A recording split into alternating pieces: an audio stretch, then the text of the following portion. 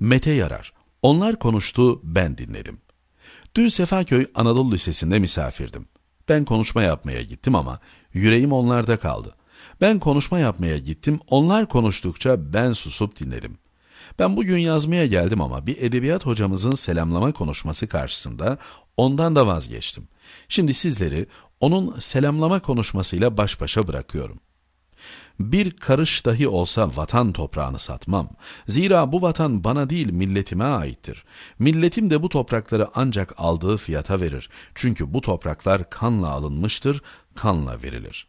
Sultan Abdülhamit Han Bugün bir daha dönmemek üzere gidenleri, tarihin yazdığı en gerçek, en şerefli kahramanları yad etmek üzere huzurunuzda bulunuyoruz. Bugün sınır hatlarında gözlerini kırpmadan nöbet tutan askerlerimizi hatırlamak için buradayız ve bugün sınır ötesinde yüreklerindeki vatan aşkıyla düşmana korku salan yiğitlerimizi konuşmak için buradayız. Savaşların getirdiği zaferler insanlık için en buruk sevinçtir. Bir savaş kazanıldığında elbette mutlu olunur. Fakat bilinmelidir ki her savaşta ölen insanlıktır.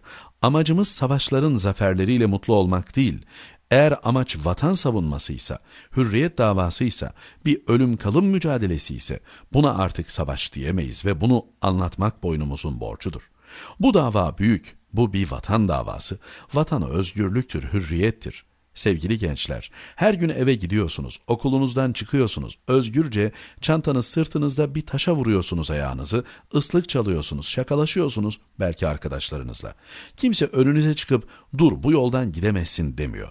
Sonra evinize varıyorsunuz. En özgür, en huzurlu olduğunuz yer. Başımı sokacak bir evim olsun başka bir şey istemem diyoruz değil mi?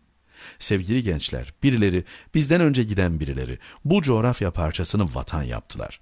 Şu an ciğerlerimize bu nefesi çekebiliyorsak unutmayalım gençler, birileri nefeslerini kaybettiği içindir.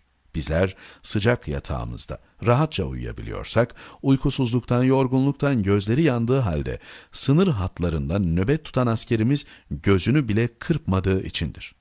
Kır çiçekleri ne kadar da güzeldir. Ilık bir bahar günü rastladıysanız eğer, papatyalar, gelincikler, arı çiçeği, sümbül, mavi mine çiçeği hepsi bir arada baharın müjdesini verirler. Bütün doğa aynı hoşgörüyle bakar aslında görmesini bilene.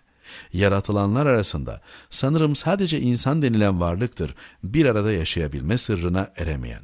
Bir arada birlik olamayan, güzelliği bozan, çirkinleştiren, o halde bunu bilmeyene anlatmak gerek. Şu anda sınır ötesinde yapılan tam da bulur aslında. Birileri bizim için nefeslerini kaybediyor evet. O nefeslerin tekrar hayat bulması için yaşananları anlamalıyız gençler. Kardeşlerimiz bu zor görevdeyken biz en azından yaşananları anlamalıyız. Gençler, hepinize selam olsun. Mete Yarar, Karar